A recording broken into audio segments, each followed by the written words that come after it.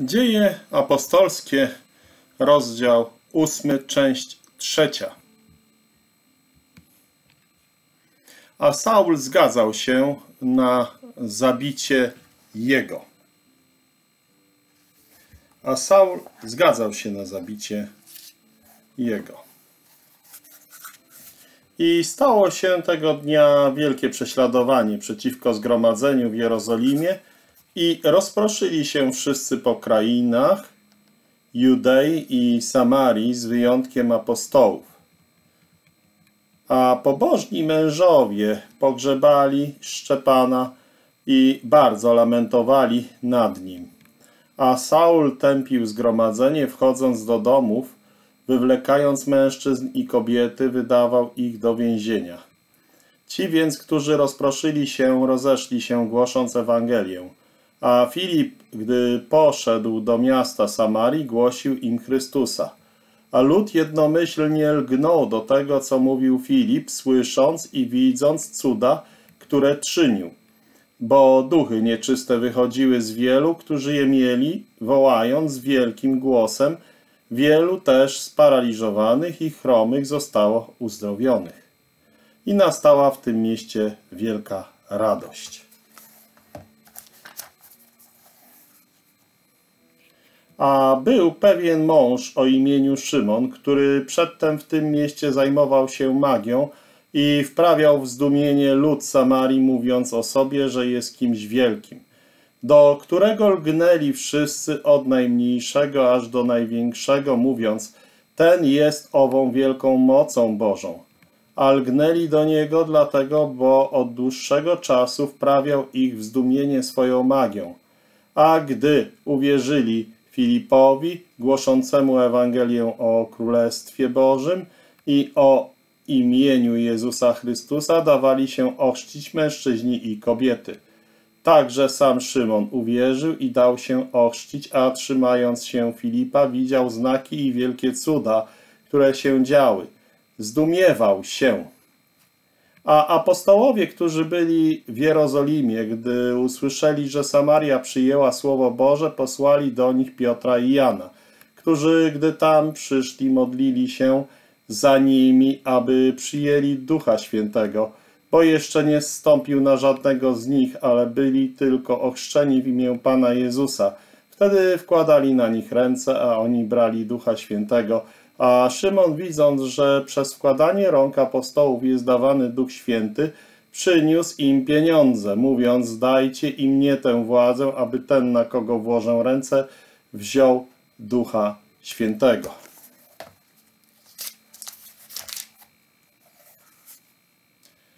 Ale Piotr mu powiedział, srebro twoje niech będzie z tobą ku zgubie, gdyż sądziłeś, że dar Boży może być nabyty za pieniądze. Nie ma dla ciebie cząstki ani dziedzictwa w tym słowie, bo serce twoje nie jest szczere przed obliczem Boga. Dlatego upamiętaj się ze swojej złości i proś Boga, czy nie mógłby ci być odpuszczony zamysł twojego serca. Bo widzę, że jesteś w gorzkiej żółci i w więzach nieprawości. Wtedy odpowiedział Szymon, módlcie się za mną do Pana, aby nie przyszło na mnie nic z tego, co powiedzieliście. A oni, gdy dali świadectwo i opowiedzieli słowo Pana, wrócili do Jerozolimy, także w wielu miasteczkach Samarytan głosili Ewangelię. A anioł Pana powiedział do Filipa, mówiąc, wstań i idź ku południowi na drogę, która z Jerozolimy biegnie w dół ku Gazie. Jest to droga pustynna. A on wstał i poszedł, a oto mąż Etiopczyk, eunuch, dostojnik królow, w, królowej Etiopii Kandake, Kandaki, który był nad całym jej skarbcem, przyjechał do Jerozolimy, aby oddać cześć. A gdy wracał siedząc na swoim wozie, odczytywał proroka Izajasza i powiedział duch Filipowi, podejdź i przyłącz się do tego wozu. A gdy Filip podbiegł, usłyszał go odczytującego proroka Izajasza i powiedział, czy rozumiesz, co czytasz? A on powiedział, jak mogę, jeśli mi nikt nie wyłoży?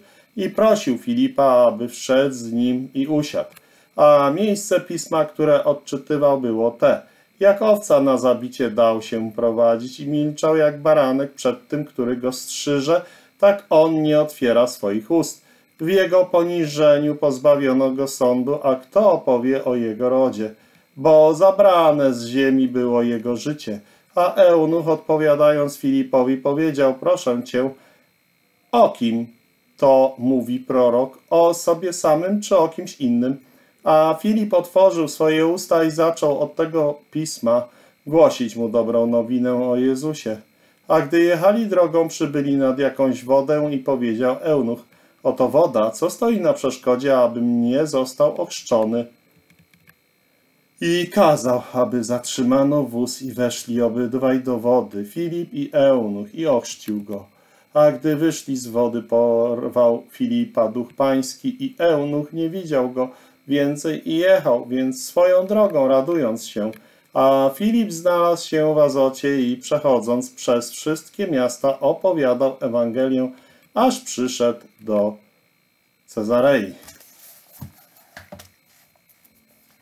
Apostołowie następnie po głoszeniu kazań w różnych wioskach Samarytan wracają do Jerozolimy. Ale nie w ten sposób Słowo Boże jest głoszone. Ewangelia idzie gdzie indziej, nie jest w żaden sposób związana z Jerozolimą. Wręcz przeciwnie, wielkie znaczenie tego rozdziału polega na tym, że teraz fala błogosławieństwa odpływa z Jerozolimy. Święte miasto odrzuciło Ewangelię, nie wystarczyło im, że odrzucili Mesjasza, ani nawet to, że został on uczyniony Panem i Chrystusem na wysokościach. Odrzucili całkowicie świadectwo Ducha Świętego o Synu Człowieczym, uwielbionym w niebie i zabili lub rozproszyli świadków. Kto wtedy został specjalnie użyty jako instrument wolnego działania Ducha Świętego, gdzie indziej bez planu, bez myśli człowieka i pozornie prosty wynik okoliczności tutaj mamy, ale wprawdzie ręka Boża kieruje wszystkim. I to jest oczywiste, że Filipowi anioł pański powiedział, aby wstał i poszedł na południe do Gazy. Do Gazy, która jest pustynią. I widzimy, że i wstał, i poszedł. Uderzająco piękne jest widzieć oddaną prostotę, z jaką Filip odpowiada na wezwanie swego mistrza. I nie będę udawał, że kosztowało go to niewiele, ale jestem pewien, że dla wielu mężów bożych byłoby to ciężką próbą opuścić to, co było tak jasne, gdzie on działał potężnie, używając siebie dla swej własnej chwały ale on jest prawdziwie niewolnikiem, tenże właśnie ewangelista Filip.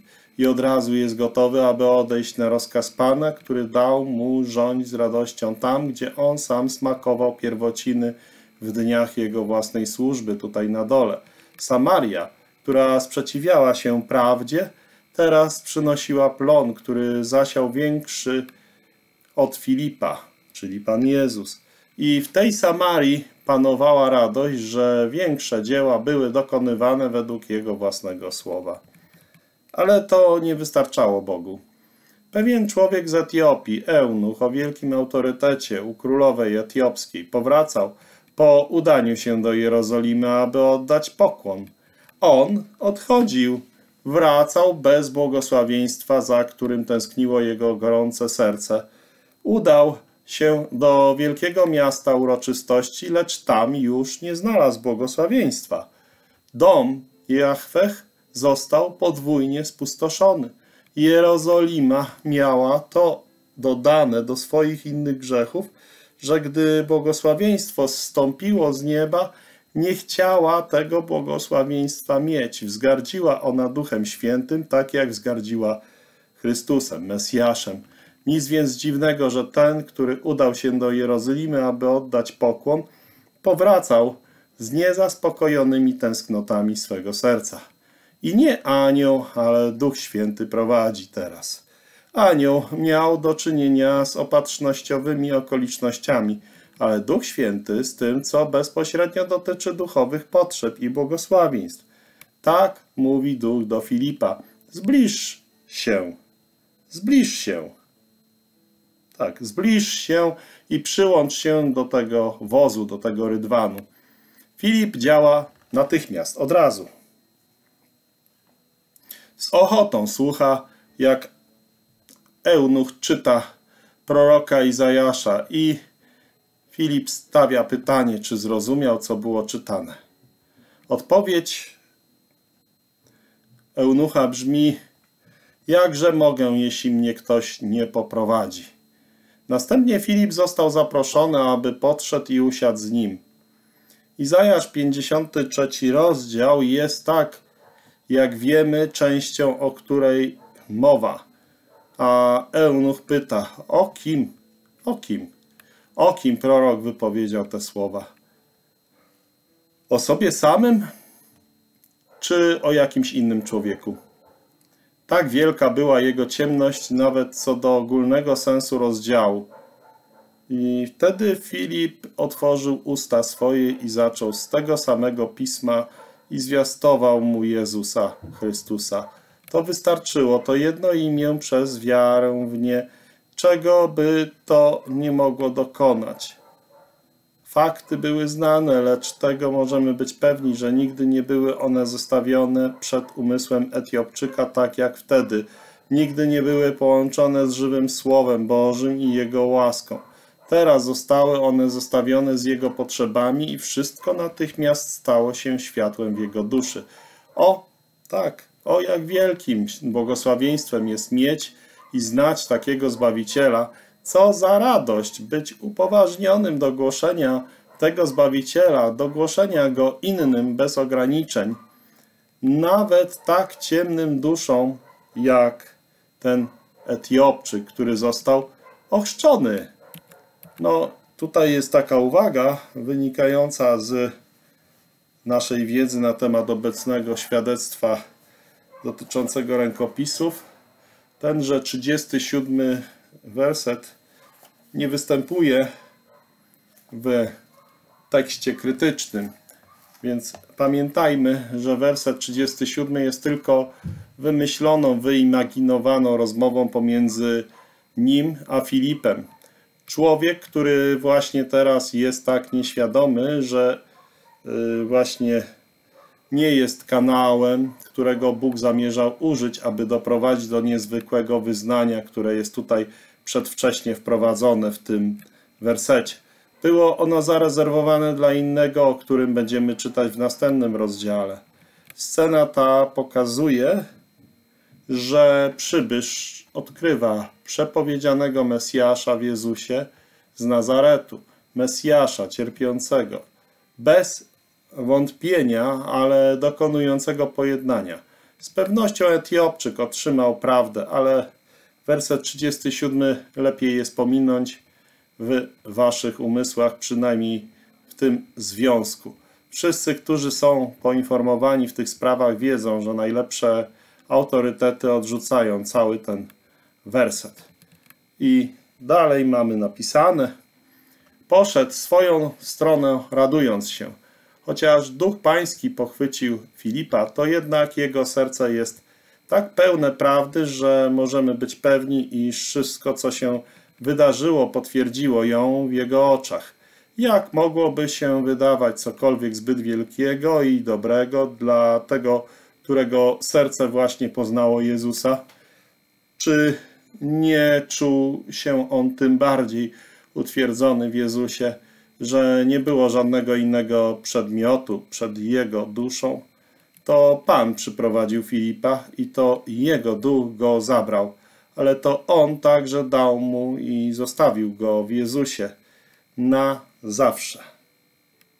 Filip, ewangelista Filip, znalazł się w Azocie i przechodząc przez to miejsce głosił kazania w innych miejscach. W tym momencie dochodzimy do historii powołania innego i jeszcze bardziej zaszczyconego świadka boskiej łaski i chwały Chrystusa. Jest to Saul Starsu. Jeszcze dyszał swymi groźbami i rzezią, gdy Pan kontynuował swe dalsze łaskawe dzieło wśród Samarytan i obcych. I powracający skarbnik królowej Kandaki był prozelitą, jak możemy przypuszczać, z pogan żyjącym wśród nich nie jako poganin, ale w zasadzie praktycznie Żyd, bez względu na miejsce swojego urodzenia i zamieszkania. Czas na powołanie pogan jeszcze nie nadszedł, choć droga jest przygotowana. Samarytanie, jak wiadomo, byli rasą taką, którą Pan Jezus nawet nazwał rasą kundli. Obcy mógł być ewentualnie prozelitą spośród pogan, ale apostoł pogan ma być teraz powołany, co przeczytamy w dziewiątym rozdziale dziejów. Takie jest rozwinięcie dróg bożych w tym momencie. Jeśli popatrzymy na dzieje apostolskie, pierwszy rozdział, ósmy werset, to mamy tam napisane: Będziecie mi świadkami w Samarii. Tak powiedział tutaj właśnie Pan Jezus Chrystus. Będziecie mi świadkami Samarii. Będziecie mi świadkami w Samarii. I to były słowa, które były częścią ostatnich słów Pana Jezusa Chrystusa do Jego uczniów. Do tej pory, od Dnia Zielonych Świąt, od Dnia Pięćdziesiątnicy, nikt nie wyszedł do mieszkańców tej prowincji. W Jerozolimie głoszono wszystkie kazania i do niej z całego kraju przychodzili chorzy po uzdrowienie, o czym czytaliśmy w wersecie 16 pierwszego rozdziału. Ale rozprzestrzenianie się, a nie koncentracja miało być cechą charakterystyczną chrześcijaństwa. Tak jak pomieszanie języków Babel spowodowało rozproszenie się ludzi na ziemi, tak prześladowanie, które rozpoczęło się w dniu śmierci Szczepana, jak napisał Łukasz, spowodowało rozproszenie się uczniów. I powstało i powstało tego dnia wielkie prześladowanie przeciwko Kościołowi, który był w Jerozolimie i wszyscy oni zostali rozproszeni po całej Judei i Samarii z wyjątkiem apostołów. Ósmy rozdział zaczyna się opisem pochówku Szczepana. Kto zatem miał pochować Szczepana? Chrześcijanie, podobnie jak apostołowie przy ukrzyżowaniu, nie byli w stanie przyjść, aby dać męczennikowi zaszczytny i zwyczajowy obrządek pogrzebowy. Lecz podobnie jak w przypadku Pana, Bóg zapewnił to w sposób najbardziej nieprzewidziany, nieprzewidywalny. Jeśli chrześcijanie nie mogli zgłosić się na ochotnika, pobożni ludzie, bogobojni Żydzi byli gotowi wykonać ostatnie smutne obrzędy – pochowali go i uczynił, uczynili, i uczynił ten lud, uczynili wielki lament nad nim. Byli w Jerozolimie pobożni mężowie, nadal wyznający Jachwech, uważający się za Żydów. Bardzo prawdopodobne, że to byli helleniści lub zagraniczni Żydzi, którzy nie mieli udziału w tym morderstwie i nie mieli sympatii z tymi, którzy ukamienowali Szczepana. Okazali to w najbardziej widoczny sposób, grzebiąc go i bardzo go opłakując. Też mamy tą smutną postać Saula, jeszcze nie nawróconego. Jest nam powiedziane nieco o pewnym młodym człowieku, który stał się najbardziej widocznym w sprzeciwie wobec prawdy. Zachował on szaty świadków, którzy ukamienowali męczennika, gdyż zgodził się właśnie ten, że Saul na jego śmierć musiał słyszeć modlitwę Szczepana za jego morderców i mógł być świadkiem jak Szczepan w chwili śmierci klęczał y, i modlił się za swoich przeciwników. Jednak nic, czego był świadkiem, ani nic, co wtedy usłyszał, nie zmiękczyło go w najmniejszym stopniu. Gorliwość dla religii, o ile nie jest złagodzona łaską, może uczynić z jej wyznawcy najbardziej nieprzejednanego i najbardziej nie nadającego się do tego, żeby w łaskawy sposób postępować z ludźmi mordercę. Takim w tym czasie stał się Saul. Możemy go nazwać w cudzysłowiu Torquemadą jego czasów. Czynił on bowiem spustoszenie w kościele, wchodził do każdego domu, chwytał mężczyzn i kobiety, osadzał ich w więzieniu. Nic podobnego nie miało wcześniej miejsca. Było to systematyczne prześladowanie o charakterze inkwizytorskim. Prywatne domy były najeżdżane, a więzienia zaludniane chrześcijanami obojga płci. Tak daleko dowiadujemy się od historyka. Ale gdy czytamy relację Saula wiele lat po jego nawróceniu, okropności tego czasu ukazują się w okropnym świetle. Zaprawdę, powiedział, myślałem o sobie, że powinienem czynić wiele rzeczy przeciwnych imieniu Jezusa z Nazaretu.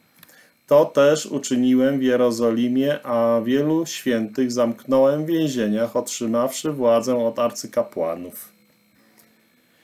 A gdy ich skazywano na śmierć, dałem głos przeciwko nim i karałem ich często w każdej synagodze i zmuszałem ich do bluźnierstwa. I to czytamy w Dziejach Apostolskich 26, 9 do 11. Cóż to musiał być za czas? Nic dziwnego, że z Jerozolimy rozproszyli się wszyscy, którzy mogli uciec, z wyjątkiem apostołów. Więzienia i śmierć były częstymi miejscami wydarzeń, a niektórzy stracili wiarę, byli zmuszani do bluźnierstwa. Szczepan był pierwszym męczennikiem, ale widocznie nie jedynym. W tym czasie wielu zostało skazanych na śmierć. Była to rzeczywiście wielka egzekucja. Apostołowie nie zostali dotknięci, prawdopodobnie poprzedni, nieudany zamach na nich, opisany wcześniej w dziejach apostolskich w rozdziale 5, sprawił, że władze obawiały się ich zatrzymać. Teraz uczniowie przeszli przez Judeę i Samarię, głosząc słowo. O pracy w Judei mamy niewiele zapisów, z wyjątkiem tego, że dowiadujemy się od z listu do Galacjan 1:22, że były zgromadzenia w tej prowincji, a także jedno być może w Lyddzie i prawdopodobnie jedno w Joppie. Tak czytamy w Dziejach Apostolskich, 9 rozdział 32-43. Przed pamiętną wizytą Piotra w Cezarei. Wiemy też, że Filip głosił systematycznie części tej prowincji pomiędzy Ażdodem a miastem właśnie wymienionym. A do Samarii, czyli pomiędzy Ażdodem a Cezareą. Do Samarii jesteśmy jednak specjalnie skierowani, która od czasu obalenia Archelausa syna Heroda Wielkiego, znalazła się, podobnie jak Judea, pod władzą rzymskiego namiestnika, który podlegał cesarskiemu urzędnikowi w Syrii. W Ewangeliach znajdujemy wzmianki o Samarii.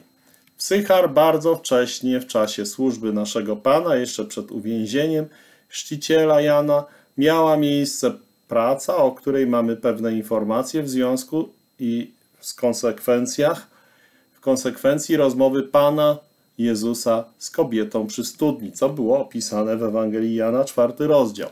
W Samarii w późniejszym czasie Pan doświadczył sprzeciwu ze strony mieszkańców pewnej wioski, którzy odmówili przyjęcia go, o czym czytamy w Łukasza 9 rozdział 52 werset, ponieważ jego twarz, jego oblicze było zwrócone, y, jakby szedł do Jerozolimy.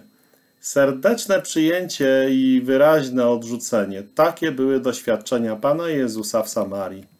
Filip. To był kolejny punkt tego rozdziału ósmego. Teraz Filip, jeden z siedmiu wybranych w rozdziale szóstym do usługiwania przy stołach, lecz niewątpliwie uwolniony od tej służby na skutek prześladowań udał się z Jerozolimy do Samarii. Do jakiego miasta w tej prowincji on poszedł, nie jest wyraźnie powiedziane. Niektórzy przypuszczali, że była to stolica. Inni sugerowali Sychar. Wystarczającym dla nas jest wiedzieć o pracy, która się tam odbywała. Udał się do pewnego miasta w Samarii, tak mówi Słowo Boże, i zwiastował im Chrystusa, a lud lub też tłumy, zgodnie słuchał go, słuchali tego, co Filip mówił, słysząc i widząc cuda, które czynił. Gdyż duchy nieczyste, wołając donośnym głosem, wychodziły, tak, wychodziły z wielu, którzy byli nimi opętani, a wielu porażonych i chromych zostawało uzdrowionych i była wielka radość w tym mieście. Tak mówi fragment z dziejów apostolskich, ósmy rozdział 5-8. To, co Żydzi odrzucali, Samarytanie przyjmowali z radością. Złość wypełniała serca w Jerozolimie. Wielka radość ogarnęła mieszkańców tego miasta w Samarii. Filip bowiem głosił im Chrystusa. Zwiastowanie Chrystusa. Możemy zaznaczyć to właśnie określenie zwiastowanie Chrystusa. Zwiastowanie Chrystusa. Głosił Chrystusa, a nie po prostu Jezusa. Ponieważ mógł i głosił jedno i drugie, eunuchowi, który czytał proroczy opis upokorzenia Pana, Filip głosił Jezusa w ósmym rozdziale 35 wersecie mamy tak napisane, ukazując mu, kim był ten, który tak cierpiał.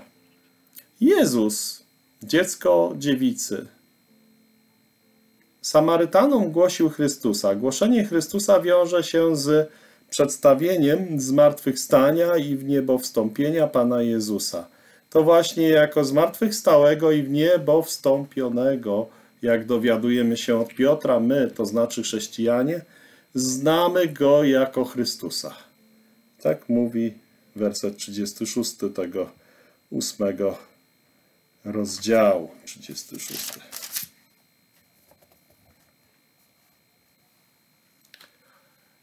Jako zmartwychwstały dowiadujemy się o przyjęciu, jako zmartwychwstałego dowiadujemy się o przyjęciu Jego właśnie ofiary przez Boga, bo właśnie zmartwychwstanie potwierdziło to, że Bóg przyjął Jego ofiarę, a tym samym o pewnej podstawie, na której stoją wszyscy, którzy w Niego wierzą. Mamy pewien niezachwiany, pewny niezachwiany fundament.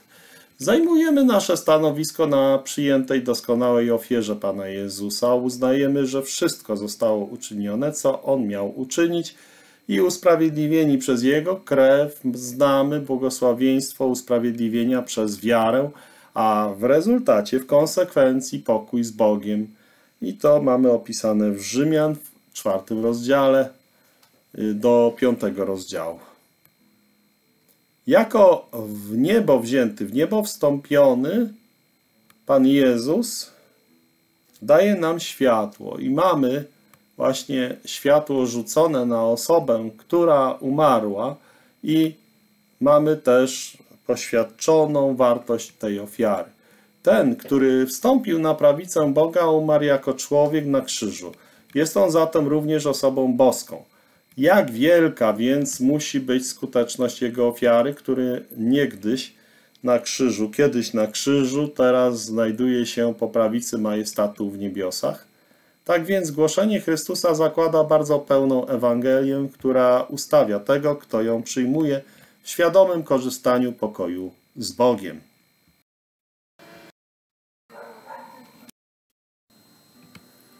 Głoszenie Jezusa niekoniecznie zawierałoby wszystko to, co jest związane z głoszeniem Chrystusa.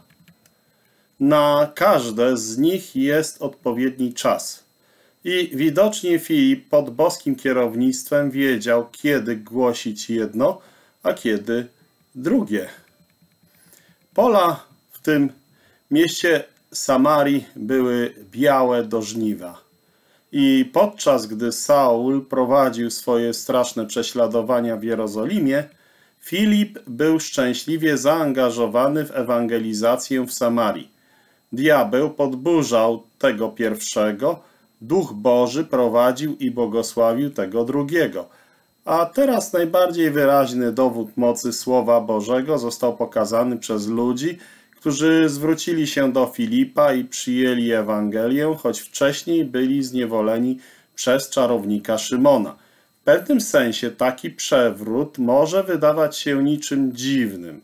Coś nowego zazwyczaj przyciąga tłumy, a pokazy cudownej mocy mogły przyciągnąć uwagę. Ale w tym przypadku zmiana była trwała. Wrażenie, jakie wywarł Szymon, choć było wielkie, było jednak przemijające, a przepowiadanie Filipa wywarło trwałe wrażenie. To nie był tylko tłum podążający za cudotwórcą. Dusze były pod głębokim wrażeniem, ponieważ zajmowano się sumieniami. Wielu stało się gorliwymi, a nie tylko entuzjastycznymi. I właśnie ten Szymon Mak, kim był ten czarownik? Szymon z imienia powszechnie nazywany jest magiem, co wskazuje na jego zawód mag lub czarodziej. Przez jego magiczne sztuczki, jego magiczne szachrajstwa, jego magiczne sztuczki oczarował ludzi i utwierdził i y, utwierdzał ich w ocenie jego samego jako cudotwórcy. Podawał się za jakiegoś wielkiego. Lud dał mu posłuch od najmniejszego do największego, oświadczając więc y, to po prostu udowadnia, że Mak był opisany w ósmym rozdziale dziesiątego wersetu dziejów. Tak, ten człowiek jest tą mocą Bożą, która się nazywa wielką. Co za bluźniercze słowa. Ten człowiek jest tą mocą Bożą, która się nazywa wielką. Tym, których porwał Szymon, to tym właśnie ludziom, których porwał Szymon, tym ludziom głosił Filip. Jednak Filip nie głosił siebie samego, lecz Chrystusa. Jakże różnił się on od czarownika. Obaj czynili cuda. Szymon wywyższał się i przyjmował uwielbienie tłumu. Filip głosił innego i zaciągał nawróconych jako uczniów Chrystusa do Chrystusa. Filip i Szymon różnili się dalej w tym, że Szymon zatopił się swoją chwałą, swoją wielkością, natomiast Filip zatopił się w Jego chwale, chwale Pana Jezusa, Jego wielkością, w doskonałości tego, którego głosił. Czy Filip był oszołomiony mocą Szymona? Z pewnością nie. Zrobił to, co zadziwiło Szymona, który czuł się w obecności kogoś większego od siebie. Szymon dziwił się, dziwił się, jak nam powiedziano, widząc znaki i wielkie cuda. Moc, większa od tej, którą znał, działała, a on był zmuszony przyznać się do tego, że ta moc y, Filipa była większa. Była to moc Ducha Świętego, a głoszone poselstwo jak starannie zaznacza historyk, było dobrą nowiną dla tych, którzy je otrzymali. Wpływ na ludzi był zdecydowany. Prestiż, który był u czarownika, zniknął jak śnieg przed słońcem. Od oczarowania przez Szymona zwrócili się do chrztu przez Filipa, który to Filip głosił to, w co teraz wierzyli, jako dobrą nowinę o Królestwie Bożym i imieniu Jezusa Chrystusa. Dokonało się prawdziwe nawrócenie, a nawet Szymon zajął wśród nich miejsce, w cudzysłowiu, nawróconego. On również został ochrzczony, co za świadectwo zostało złożone na moc prawdy. Ludzie czuli ją, posiadali ją, Zostali bowiem ochrzczeni w imię Pana Jezusa. Bóg triumfował w miejscu, gdzie wróg oślepił przedtem tak wielu. Odwróciwszy się raz na zawsze od Szymona, stali się uczniami w prawdzie Pana Jezusa Chrystusa. Zmiana rzeczywiście dokonała się przez głoszenie Ewangelii, a cuda i Znaki poświadczały, że posłaniec był posłany przez Boga. Z kolei Szymon Czarownik u stóp Filipa dodatkowo wzmacniał ten przekaz, ten wielki, jak sam siebie lubił ogłaszać, teraz był uczniem tego nowego przybysza i niewątpliwie gorliwym, yy, gorliwego kaznodziei, tak? bo Filip był gorliwym kaznodzieją. Ale Filip był tylko ewangelistą. Pod tą nazwą został opisany wiele lat później w dziejach apostolskich, 21 rozdział, werset 8. Jak wielkim wydawał się on w oczach Szymona. Byli więksi od niego w Kościele Bożym, nawet apostołowie pańscy. Filip, jak już mieliśmy to zauważone, był ewangelistą. Interesującym jest zauważyć, że znał on swój dar i trzymał się tego daru. Całym tym rozdziale, całym tym rozdziale, który może być nazwany dziejami Filipa, głoszenie jest usługą i to jedyną, w którą Filip jest zaangażowany. Głosił Chrystusa, głosił Chrystusa, głosił rzeczy dotyczące Królestwa Bożego i tak dalej. Głosił Jezusa, głosił Ewangelię we wszystkich miastach, aż przybył do Cezarei. Tak czytamy w tymże ósmym rozdziale dziejów apostolskich, werset 5, werset 12, werset 35 i werset 40 ani dar nauczania, ani napominania nie był mu dany. W głoszeniu pracował, bo był ewangelistą i jedynym człowiekiem tak określonym w Nowym Testamencie, choć oczywiście nie jedynym, który pracował w tej dziedzinie służby.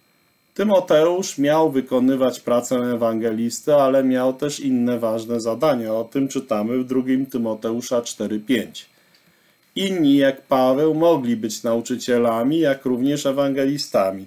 Filip był tylko ewangelistą.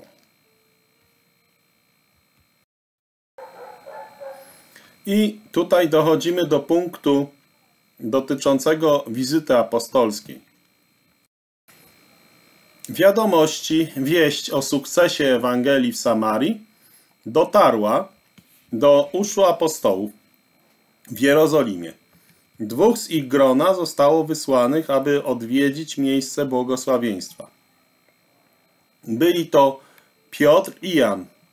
Praca Filipa została uznana za prawdziwą i stabilną. Apostołowie uznali tą pracę. Wobec tego, że pośród nawróconych, widząc z pewnością rzeczywistość tego dzieła, nie musieli ponownie zakładać fundamentu ani uzupełniać Ewangelii Filipa, ich służba w tym czasie polegała na udzielaniu nawróconym pełnego błogosławieństwa chrześcijańskiego przez dar Ducha Świętego. Oni się o to modlili. I tutaj jest takie słowo jeszcze jak informuje nas historyk, jeszcze na żadnego z nich nie spadł Duch Święty, tylko oni zostali ochrzczeni w imię Pana Jezusa. I to mówią Dzieje Apostolskie, 8 rozdział, 16 werset. To fakt, byli wierzącymi dziećmi bożymi, którymi się stali. Zbawionymi duszami z pewnością byli. Ale w przynależności do Chrystusa, to mamy w Rzymian, 8 rozdział, 9 werset, i w byciu członkami Jego ciała, 1 Koryntian 12 rozdział, 13 werset, jeszcze nie uczestniczyli. Te duchowe błogosławieństwa zależały od otrzymania Ducha Świętego. W tym celu Piotr i Jan modlili się, a następnie kładąc ręce na uczniów, otrzymali Ducha Świętego. Widzimy więc wyraźnie, że ludzie mogą być wierzący, a jednak nie mogą być tym, co Pismo Święte nazywa zapieczętowaniem w Efezjan, pierwszy rozdział, trzynasty werset. To jest być uczestnikami daru Ducha Świętego. Bóg jednak nie chce pozostawić nikogo w takim stanie. W pierwszych dniach życia dar ten był udzielany na trzy różne sposoby. Po pierwsze, Duch Święty został wylany na całe zgromadzenie w dniu Zielonych Świąt, dniu Pięćdziesiątnicy. Po drugie, wielu świętych, niewątpliwie większość, otrzymało po tym dar ducha przez słuchanie wiary, o czym mówi Galacjan, trzeci rozdział, drugi werset. Wierząc w Ewangelię o swoim zbawieniu, co mówi nam Efezjan, pierwszy rozdział, trzynasty werset. Po trzecie, inni znowu, a ci Samarytanie należeli do tej właśnie trzeciej grupy, do tej ostatniej grupy, otrzymali Ducha Świętego przez nałożenie rąk apostołów. Historia Samarytan w przeszłości bardzo prawdopodobnie wyjaśnia to w ich przypadku. Choć rzekomo wywodzili się od Jakuba, jak twierdziła kobieta przy studni w czwartym rozdziale Jana, dwunasty werset, zapoczątkowali i utrzymywali od czasów Nehemiasza konkurencyjny kult i konkurencyjną świątynię wzniesioną na górze Gerizim.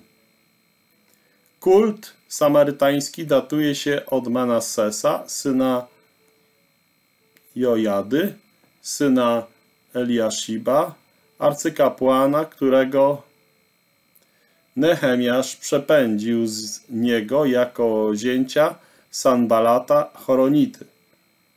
On uzyskał tutaj pewnego rodzaju wsparcie i otrzymał od Dariusza pewnego rodzaju możliwość, aby budować rywalizującą świątynię przy y, Gerizim i to był rok przed Chrystusem w 409 roku. Ich stanowisko było naprawdę schizmatyckie. Była to niezależność. Dlatego też musieli nauczyć się, że błogosławieństwo może dosięgnąć ich jedynie z Jerozolimy. Tak więc nie tylko Filip opuścił stolicę, aby głosić Ewangelię Samarytanom, ale również Piotr i Jan zeszli z niej, aby udzielić im Ducha Świętego.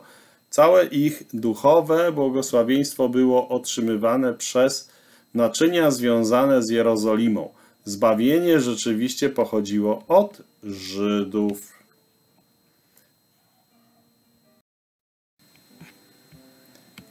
Szymon został ostatecznie ujawniony. Czarownik najwyraźniej patrzył ze zdumieniem, widząc moc apostołów okazaną w udzieleniu i udzielaniu Ducha Świętego.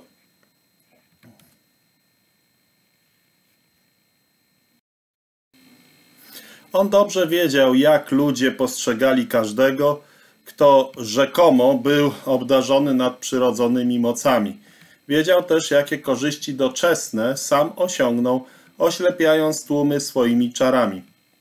Gdyby tylko mógł posiąść tę moc, która była okazana i którą okazali Piotr i Jan, jakież zyski osiągnąłby, w jakim poważaniu by się znajdował.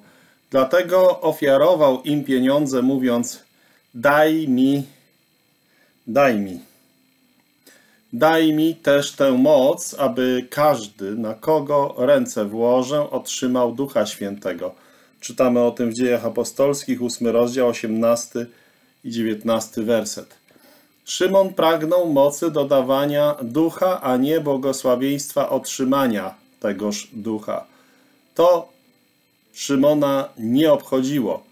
Odpowiedź Piotra była natychmiastowa, miażdżąca i zdecydowana, negująca prośbę i określająca prawdziwy stan moralny Szymona.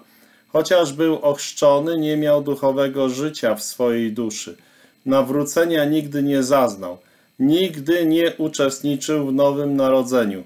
Był on jeszcze w żółci gorzkości i więzach nieprawości i na drodze do zguby, chyba że przebaczenie tej myśli jego serca zostanie mu udzielone. Prawdziwi wierzący nigdy nie zginą. Zbawienie jest nieutracalne. Szymon nie był jeszcze w tej klasie, a więc poza niebezpieczeństwem, to jeszcze mamy tutaj pieniądze Twoje zginą z Tobą, ponieważ myślałeś, że dar Boży można nabyć za pieniądze. Nie masz w tym ani udziału, ani zysku. W tej sprawie, bo serce Twoje nie jest prawe w oczach Bożych. Żałuj więc tej swojej niegodziwości i módl się do Boga, aby odpuścił Ci to, co myśli Twoje serce. Widzę bowiem, że jesteś w żółci goryczy i w więzach nieprawości. Tak mówią dzieje apostolskie, ósmy rozdział od 20 do 23 wersetu.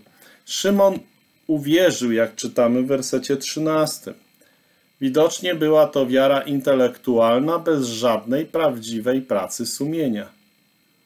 Jego serce nadal nie było w porządku z Bogiem. Któż, świadomie uczestnicząc w Bożej łasce, mógłby uczynić taką prośbę, jaką on uczynił? Czy odpowiedź Piotra spowodowała w jego duszy przekonanie?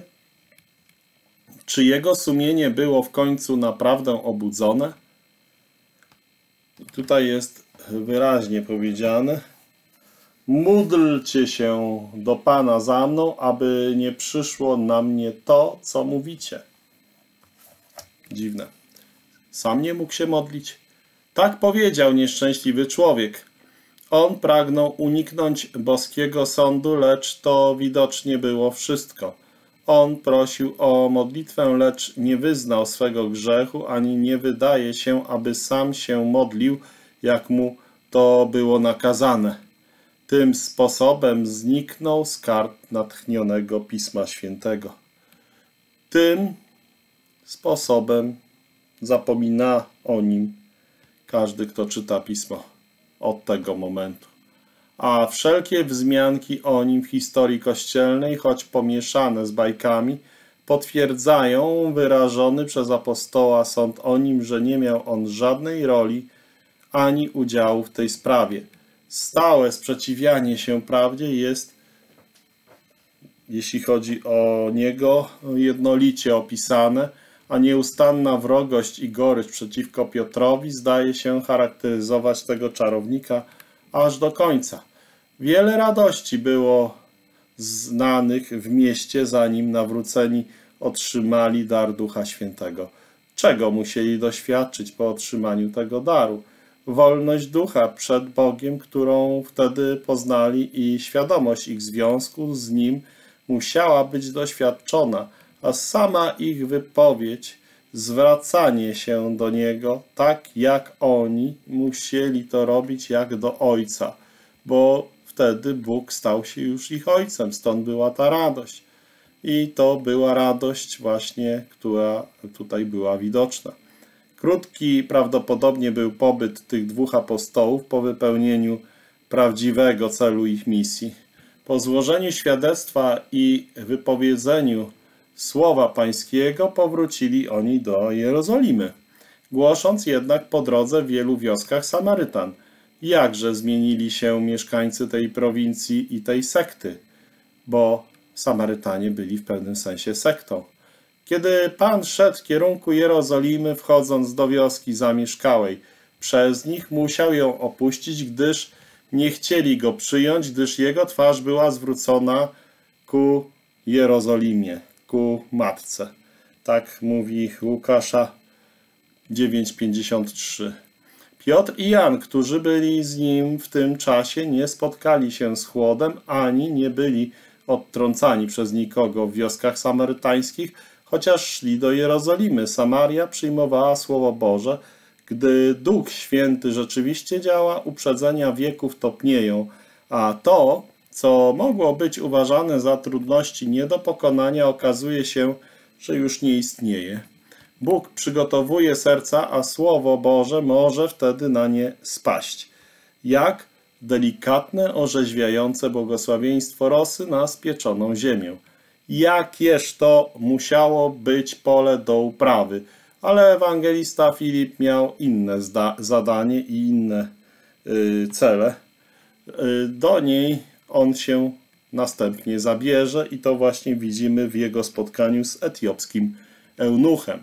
Filip pozostawiony bardzo możliwe, że przez apostołów w tym mieście, którego nawracający się konwertyci musieli się do niego przyzwyczaić, bo przecież znali go jako miłego brata, podczas gdy oni kontynuowali swą ewangelizacyjną służbę w prowincji Samarii, to Filip dostał wezwanie do udania się w inne miejsce. Anioł Pański przemówił do niego i polecił mu udać się na drogę między Jerozolimą a Gazą, która jest pustynna. Natychmiast posłuchał i poszedł.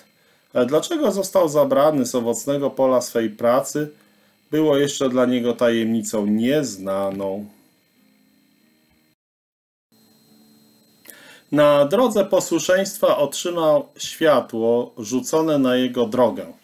Chociaż miejsce, do którego dotarł, nazywało się pustkowiem, nie znalazł się tam sam.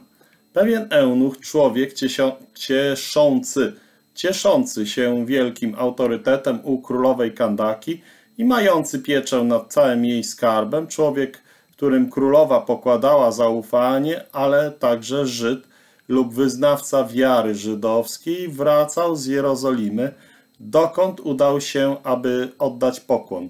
Najwyraźniej służba w świątyni i obcowanie tam z wyznawcami i wyznawanymi yy, przez Żydów rytuałami i wyznawcami Żydami nie dostarczyło mu wszystkiego, co był gotów przyjąć.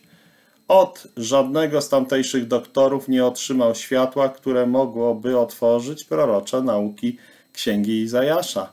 On jednak cenił sobie tę część boskiego objawienia i studiował ją w czasie swej podróży powrotnej.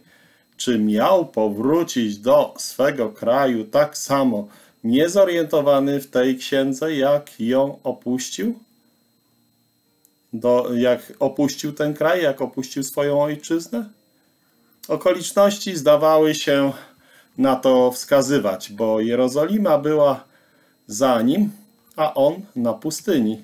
Bez nauczyciela, bez pomocnika, on spokojnie czytał księgę, gdy Filip, kierowany przez Ducha Bożego, zwrócił się do niego z pytaniem. Czy rozumiesz, co czytasz? Nieznajomy dlatego eunucha w ten sposób ośmielił się zwrócić do niego – Naturalnie, że on mógłby odepchnąć takiego. Dlaczego ten prosty człowiek bez orszaku, ani nawet jednej osoby do oznaczenia rangi miałby się ośmielać nadchodzić, nachodzić, ośmielać nachodzić tak wysokiego urzędnika, jakim on był? Nie podróżował przecież sam. Bez wątpienia miał z sobą sporą liczbę osób. Lecz gdy duch przygotowuje serca, są one gotowe do przyjęcia pomocy, a zewnętrzny wygląd osoby lub dziwność takiego spotkania nie budzi sprzeciwu w umyśle prawdziwego pytającego. Tak więc eunuch odpowiedział na postawione mu pytanie. Jakże ja mogę, jeśli mnie nie poprowadzi jakiś człowiek? On potrzebował pomocy. Wyznał to, a wierząc, że Filip może jej udzielić, poprosił go, by podszedł i usiadł z nim. Sługa,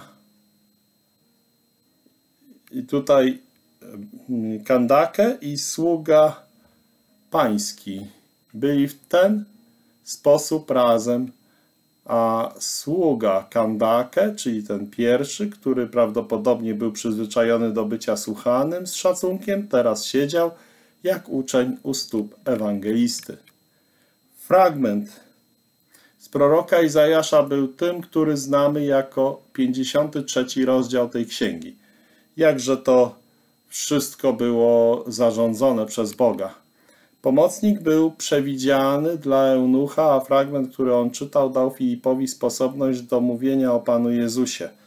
Dla eunucha jednak znaczenie było jeszcze zaciemnione. Światło, które chciałby przyjąć, nie oświetliło tych wersetów. I to czytamy w Izajasza 53, 7, 8 ale teraz musiał tylko poprosić tego nieznajomego, aby mu je otworzył i aby dowiedział się, o kim pisał prorok. Filip, jak czytamy, otworzył swoje usta i zaczynając od tego pisma zwiastował mu Jezusa. Co to musiał być za czas? Odrzucenie Pana za życia było przepowiedziane w pierwszym wersecie Ewangelii i tutaj mamy też wyraźnie pokazane z Ewangelii Jana, 12 rozdział, 38 werset. Jego drogi w łasce, w uzdrawieniu i tak dalej zostały przepowiedziane w czwartym wersecie tego Izajasza, 53 werset. I mamy to w porównaniu z Mateusza 8:17. Jego noszenie naszych grzechów i błogosławiony wynik tego dla nas zostały przepowiedziane w piątym wersecie i to jest widoczne, jak porównamy piąty werset 53 rozdziału Izajasza z pierwszym listem Piotra 2,24. Jego nieskazitelna niewinność została potwierdzona w dziewiątym wersecie 53 rozdziału i to możemy porównać z pierwszym listem Piotra, drugi rozdział, 22 werset. Pochówek Pana Jezusa w grobie Józefa został zapowiedziany w tym samym wersecie, o czym czytamy w Mateusza 27, od 57 wersetu do 60 i wystarczy to porównać z Izajasza 53. A boskie uznanie dla niego zostało przedstawione w ostatnim wersecie. Jakiej historii w tym jednym krótkim rozdziale musiał słuchać Eunuch z zachwytem i zdumieniem? Nigdy przedtem Pismo Święte, jak możemy wierzyć, nie wydawało mu się tak pełne, a jego nauczanie tak interesujące. I tutaj dochodzimy do punktu, który można by zatytułować Chrzest. Efekt był szybki i zdecydowany. Idąc, jadąc dalej, dotarli do wody w pobliżu, jak się wydaje, współczesnego miasta Telhesy. A Eunuch od razu zaproponował chrzest chrześcijański. Z tej szczególnej z tej szczególnej historii dowiadujemy się czegoś o istnieniu królowej Kandaki. Królowa Kandaki i to imię jest y, imieniem persony, o której w zasadzie wiele nie wiemy. Uważa się, że imię Kandaka jest, podobnie jak imię faraona, oznaczeniem po prostu władcy, a nie osobistym imieniem własnym. W czasach takich y, Eusebiusza Etiopia nadal była rządzona przez kobiety. I w tej miejscowości Telhesy jest jedyne źródło na wiele mil dookoła, na wiele kilometrów dookoła.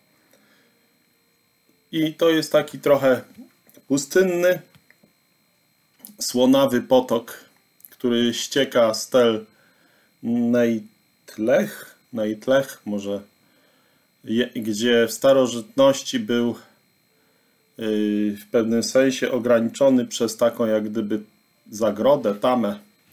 I w Telhesy jest on połączony z świeżym źródłem, podczas gdy cała woda jest wchłonięta w kamienistej takiej yy, takiej kamienistej jak gdyby suchej, pustynnej yy, powierzchni i ona tam wsiąka i nigdy nie pojawia się później. Te informacje są oczywiście za informacjami tych, którzy te tereny badali. I jeżeli mamy teraz tekst dziejów apostolskich, to tutaj ósmy rozdział 36 do 38 wersetu jest patrz oto woda, co stoi na przeszkodzie, abym został ochrzczony.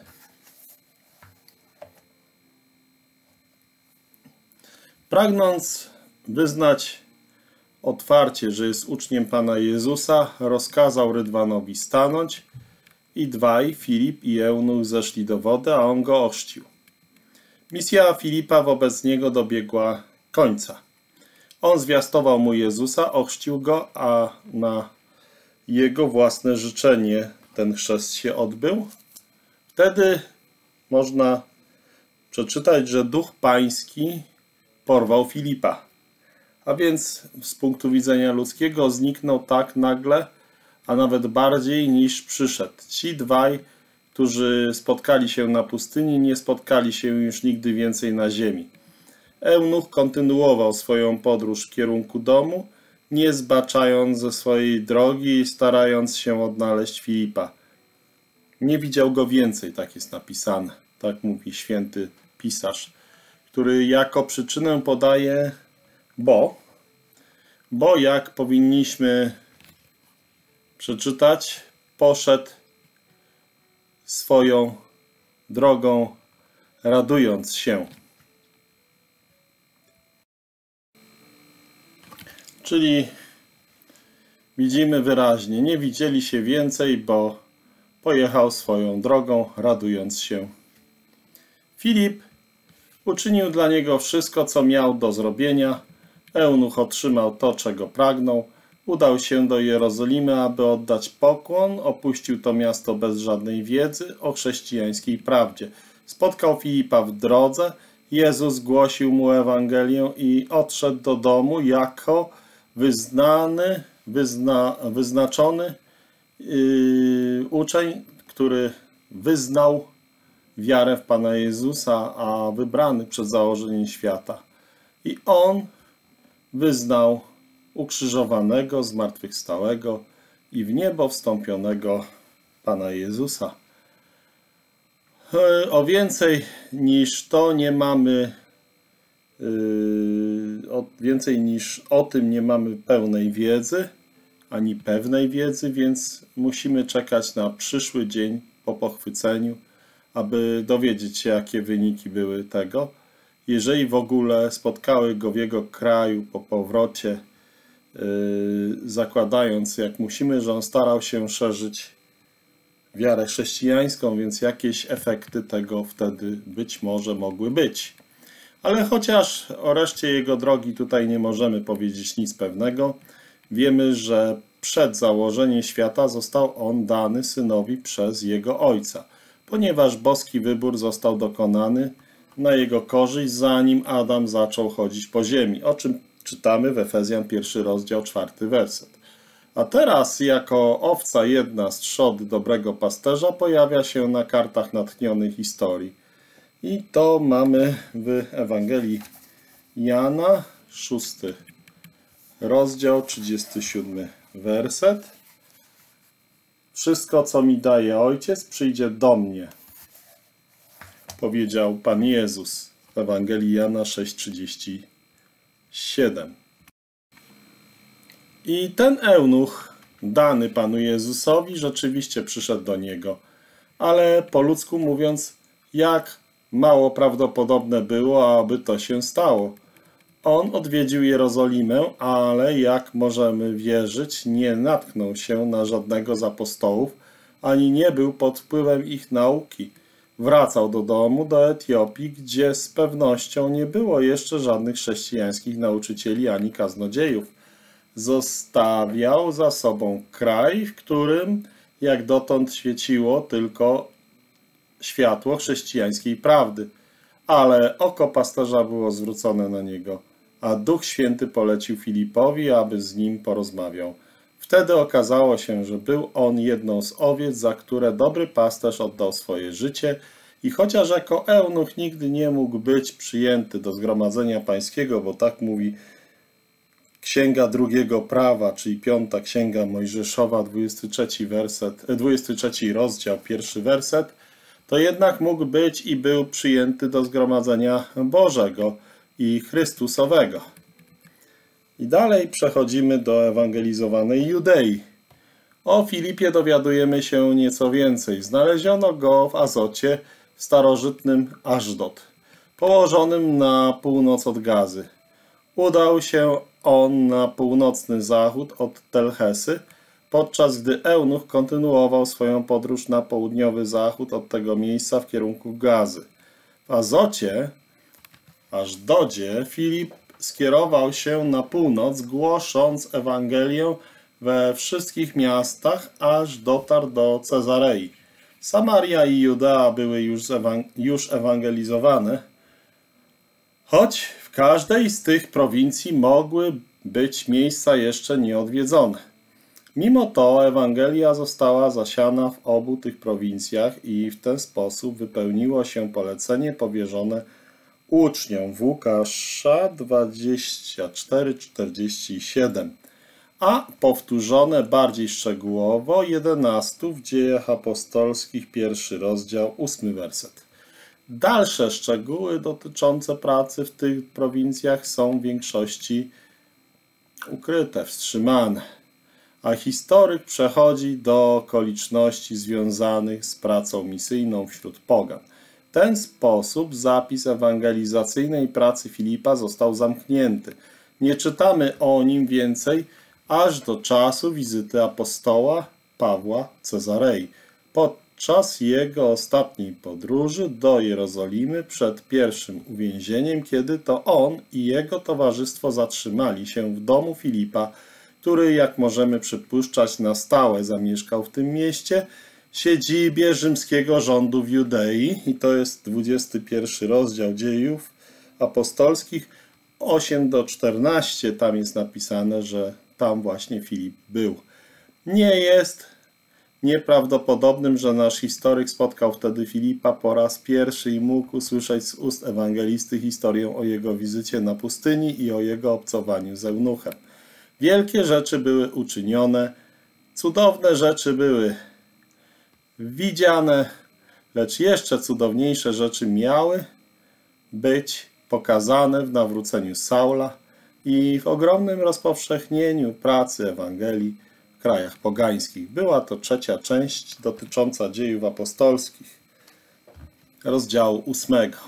Jeśli Bóg pozwoli, będzie kontynuowane to rozważanie.